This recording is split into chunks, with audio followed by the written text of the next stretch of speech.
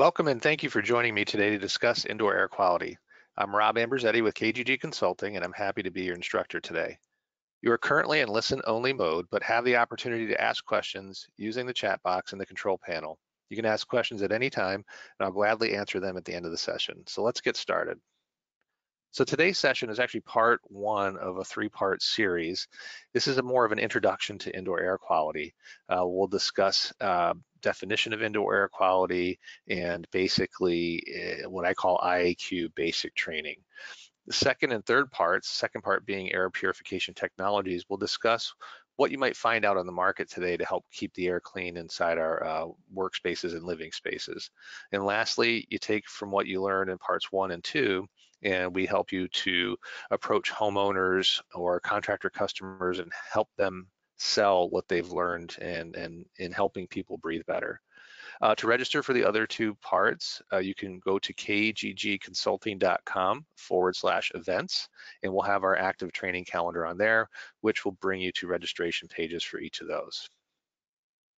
Today's session, if you happen to have a NATE certification, will earn you one hour of continuing education credit. So just make sure I have your NATE number.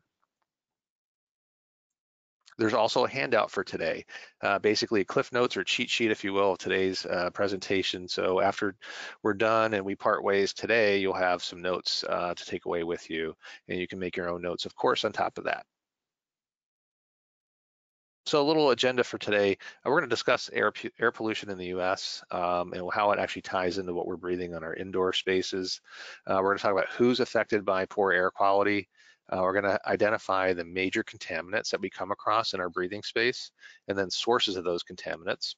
We're going to take a look at and define what we think ideal air should be and then the treatment strategies for the above contaminants and uh, ways to take care and remediate those issues in the air and then finally identifying issues in the home. So according to the EPA, last year alone, or two years ago in the US, was about 76 million tons of pollution emitted just in our atmosphere alone above the US. These emissions contribute to the formation of ozone and particles, acids, and, and of course create visibility impairment, what we might know as smog. Air pollution, pesticides, and radon all contribute to the outdoor air quality, but really those elements outside affect, directly have an effect on what we're breathing on our indoor air. So it's a sad fact, but all of us as human beings, we spend roughly 90% of our time indoors. Um, and then if you factor in the time that we might spend in automobiles, uh, a lot of sales guys being in cars all the time, or you know technicians in the trade and service vans, that might actually end up being somewhere uh, near 93%. So as much as I like hiking, uh, the sad part is we spend about 90% uh, of our lives inside. The EPA actually has done studies in years past, and what they found is because of our homes and buildings getting tighter and less air exchange naturally occurring, we find that the air it can be two to five times higher, the pollutant levels can be two to five times higher than what we actually see outside. In some cases, it can be even 100 times more polluted than what we experience outside as well. So some rough numbers here. There's a roughly about uh, 50 million people affected with allergic disorders. That actually ranks sixth leading cause of chronic illnesses in the United States. There's another 11 million people uh, that suffer from asthma, and some of those asthma attacks are actually provoked by airborne pathogens. You know, uh, it could be pollen, it could be, you know, dust or uh, something to do with dust mites. But anyway, uh, you'll find that some asthmatics actually will get asthma attacks from those airborne uh, uh, contaminants.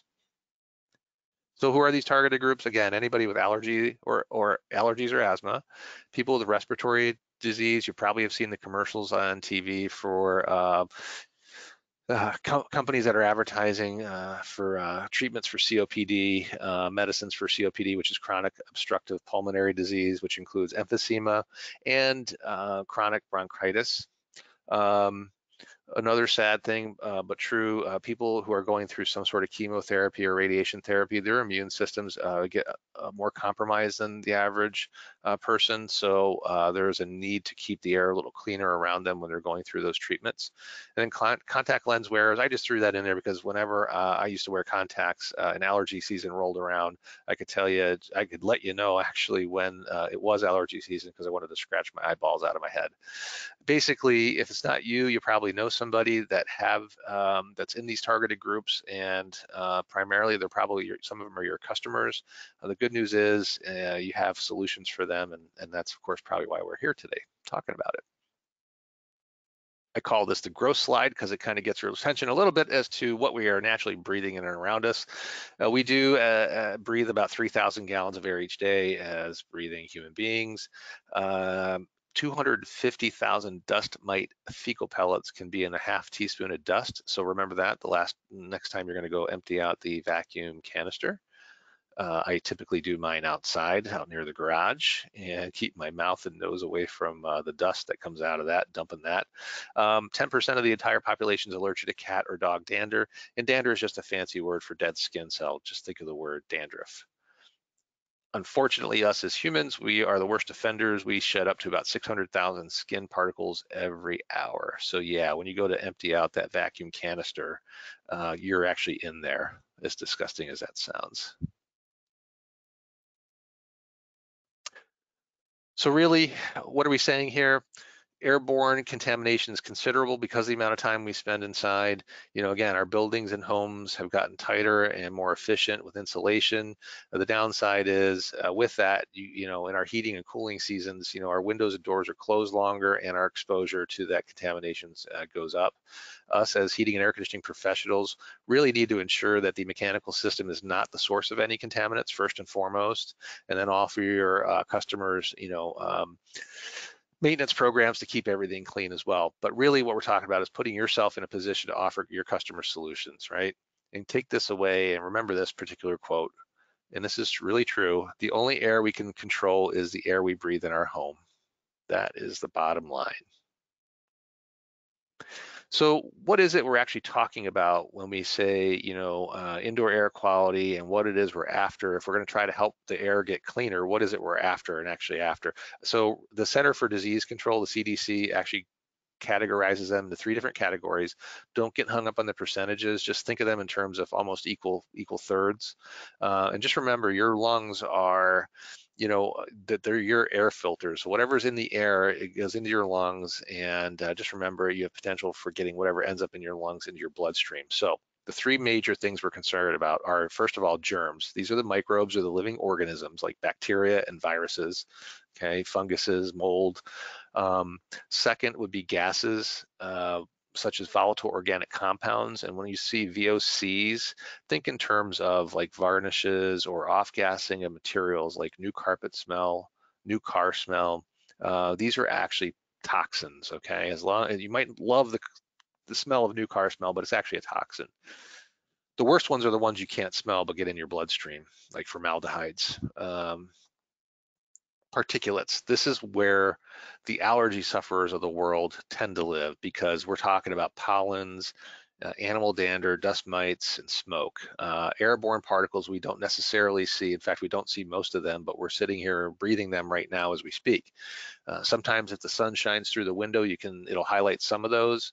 Uh, but again, these are dangerous because they can cause allergic reactions and or sickness, okay? So once you understand these three categories, you'll have a better understanding uh, when you go to look at all the different devices out in the market and ways to treat, you know, IAQ or indoor air quality, um, what their capabilities are. Some devices do a great job on germs, but don't do anything for particulates, and that brings up a good point. So you, you want to match a device to what the people in, inside the inside the home are experiencing. So if somebody has asthma or allergies to pollens, you want to find a device that actually handles particulates. Some will do a good job on both gases and, and germs, but nothing for particulates. Some do really well at particulates, but don't do much for germs and odors. So just remember germs, gases, and particulates, or germs, odors, and particulates, GOP. So what are some of the sources of these contaminants? primarily human activities, like you said, living and breathing. We inhale, exhale, we shed, uh, unfortunately. Uh, products for household cleaning and maintenance. There's uh, hypersensitive folks out there that can't even keep uh, cleaning um, agents or detergents in their house. They have to keep them outside or in a shed. Uh, personal care or hobbies, think of hairsprays, you know, glue from models or spray paint from hobbies, whatever it might be. Excess moisture. We're going to come back and talk about moisture because this is going to be really important. Uh, you know, we talk about humidity a lot in terms of comfort, but there's also a health side to humidity as well fuel burning uh, combustion appliances. Uh, keep those in mind because you're talking about anything that has to do with burning of a fuel or even cooking. Tobacco products, of course. Building materials and furnishings, flooring, carpet, and upholstery. Again, off-gassing of VOCs, you know, that new carpet smell or new car smell. And then there's uh, different kinds of woods out there, uh, pressed woods that can off-gas uh, dangerous toxins as well.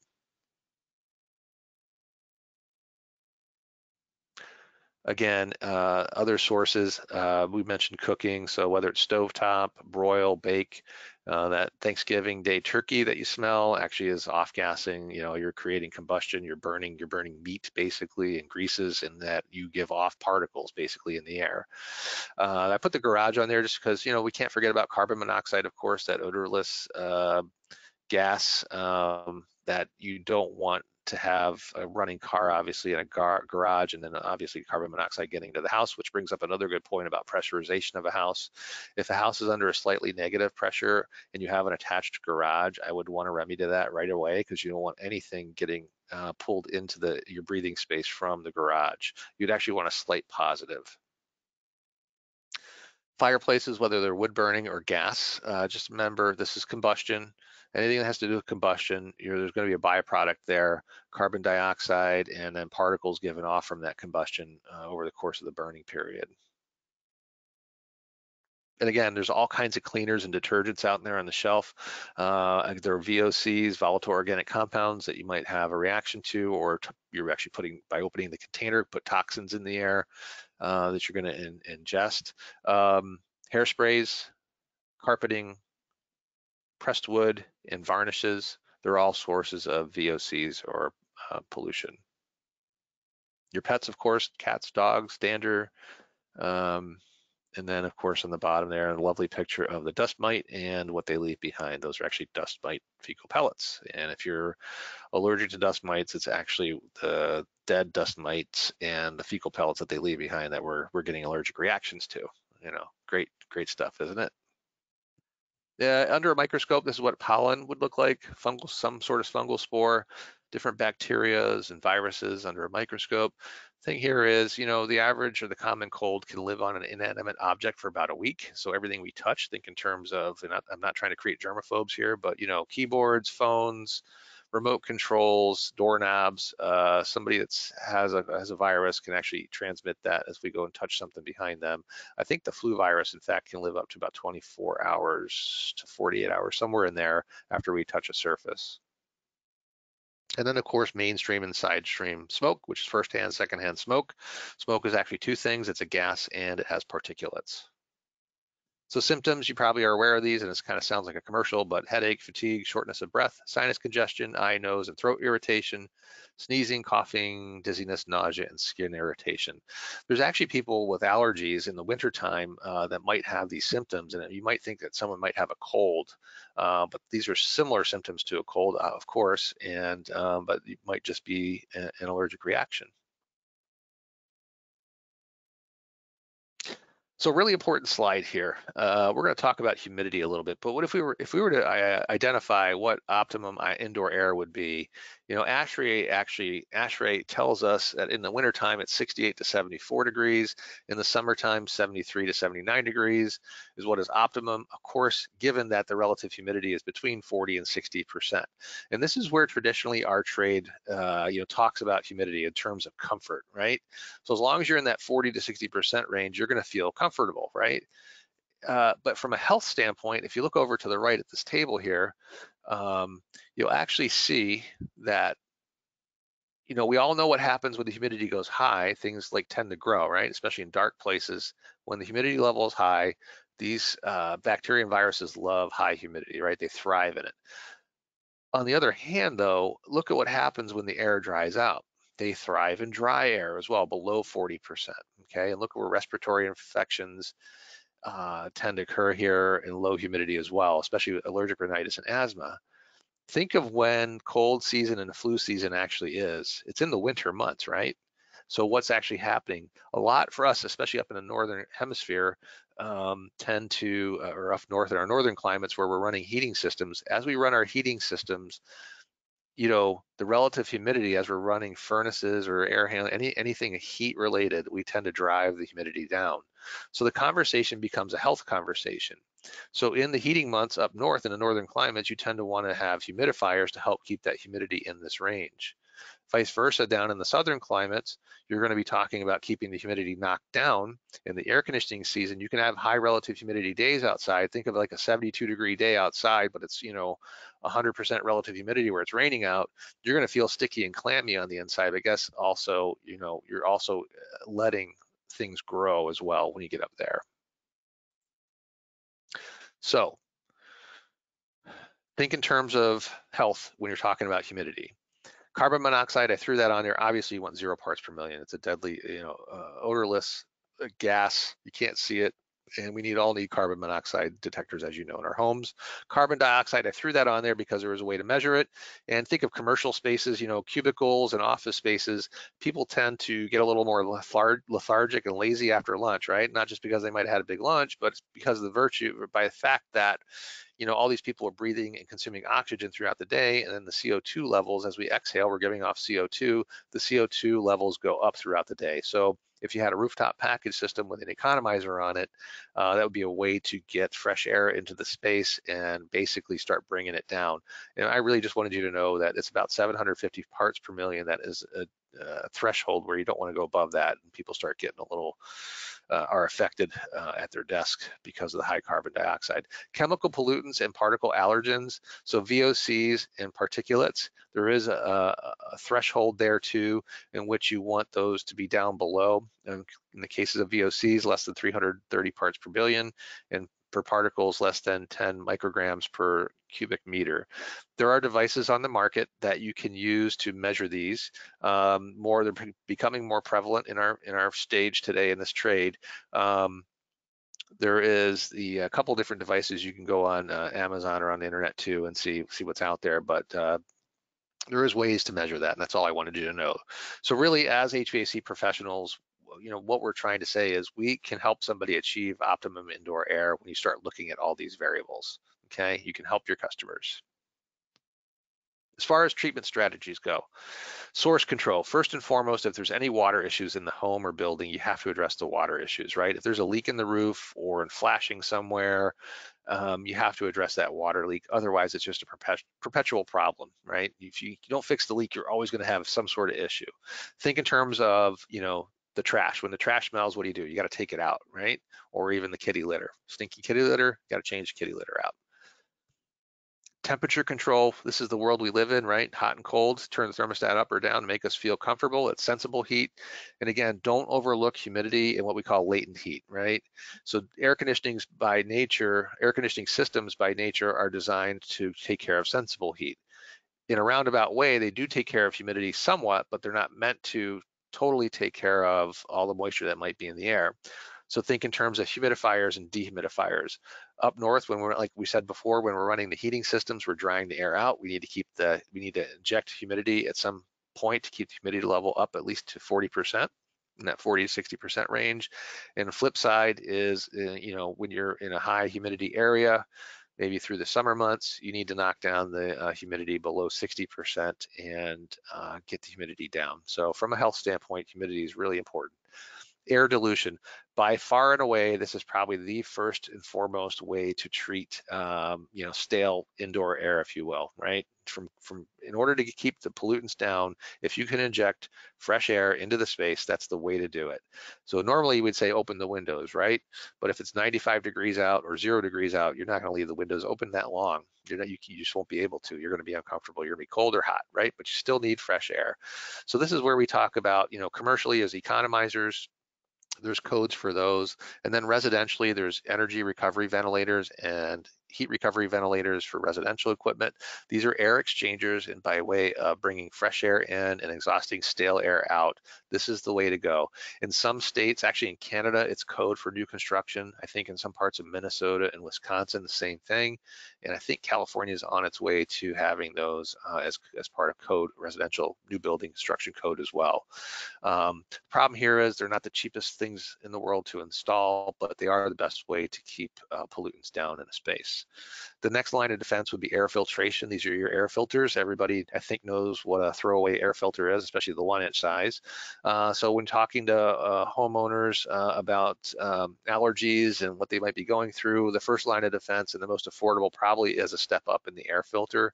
Uh, you might want to get away from the one inch air filter, of course, and go to some sort of media air cleaner. I would say at the minimum, like a MERV 11 would help out uh, and help getting those particle, particles knocked down uh, in the in the space. HEPA air filters, the way I explain this to homeowners would be like hospital grade air filters. Uh, you don't have to get into the nitty gritty and science of HEPA, but HEPA, because of the high restriction, you're gonna have, they usually, those systems have their own internal blower that you let run constantly to get through the media, the HEPA filter media, but they do an excellent job at getting particulates out of the air and some, some germs as well okay? And then finally, air purification devices. So if you actually want to treat, treat the air in the space and help clean it up, there's all kinds of devices out there on the market. What I would say is take a look at the three contaminants again when you're looking at different devices and remember your germs, your gases and your odors and your particulates and what is that device actually going to help you with and match it you have to match the device to what's going on in the home or with the homeowner okay in addition to remembering the three contaminants and what might be treated, I want you also to think in terms of passive and active devices, okay? A passive type of, of filtration device or would be an air filter. So an air filter would be sitting there in the airstream ready to catch anything that happens to come its way. It's doing it passively. Think of the term or the analogy of a bug zapper. A bug zapper is in your yard, you turn the light on, it doesn't necessarily kill all the bugs in your yard, just the ones, the dumb ones that happen to fly towards the light and get zapped. So think in terms of active and passive. Active devices uh, would actually proactively use the air distribution system to take and, and, and throw out uh, friendly air scrubbers, or ions to go and clean out, out the air proactively. And uh, some of the really good ones will actually take and, and knock down all three contaminants and not just in the breathing air, but on surfaces as well. And that's important because remember how, how germs are transmitted on surfaces. So identifying indoor air quality issues in the home, the discussion that you would have with your uh, with your contractors. Uh, remember, uh, technicians in the field and installation crews, they are all consultants, whether they like it or not. People are going to ask them their opinion as to what they have in their house or what, what they would suggest as homeowners or their, uh, you know, getting their whatever uh, device fixed, uh, whatever might be there as the service call or the unit replacement uh, with our heating and air conditioning technicians, they're gonna get asked the questions. So they are consultants. And I always just tell those guys, just listen, you're walking through the space, you just observe things. Um, you know, the, one of the best ideas is if you happen to notice uh, someone has a room air purifier in the space, just say, hey, I noticed you got the room air purifier over there. Is it, you know, what what what made you buy that and put that in your in your room? And you might say, oh, my husband has allergies or my kids have asthma, and just listen and let them talk talk and tell their story. And obviously, you can you know add on to that and say, hey, you know, I might have something that would help you, not just do the do the room, but the whole house. Would you be interested in something like that?